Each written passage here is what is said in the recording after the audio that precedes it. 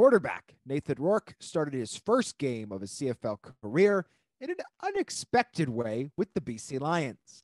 Mike O'Reilly told him that he was starting with the offense right after the coin toss, and then he had to run onto the field in front of 30,000 plus people at Mosaic Stadium. What the heck is going on with the Lions? Michael Reilly's making the decisions. There's a lot of talk out there about are the Lions being deceitful and are they disregarding the new league injury reporting rules here? But to be quite honest, that's not the case. The talking heads out there can have their opinions, but Michael Reilly made the decision, as you mentioned, just before kickoff and told Rourke he was going out there. And again, before the second half, after Rick Campbell had an interview with TSN at halftime, he runs back over the sideline and he learns that it's going to be Reilly going in to start the second half.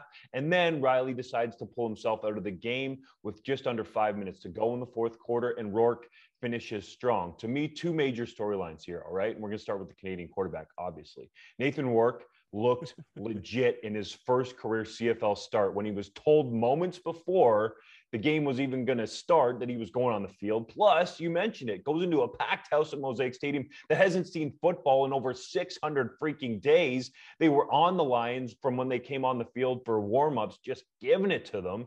He was unfazed, throws a strike to Lucky Whitehead for his first career CFL touchdown, 75 yards. And oh, by the way, in the fourth quarter, pressure on trying to lead a comeback. He throws another touchdown pass spotted perfectly to Bryan Burnham. Yes, Burnham made a great adjustment as well, but that ball was put only where Burnham could get it.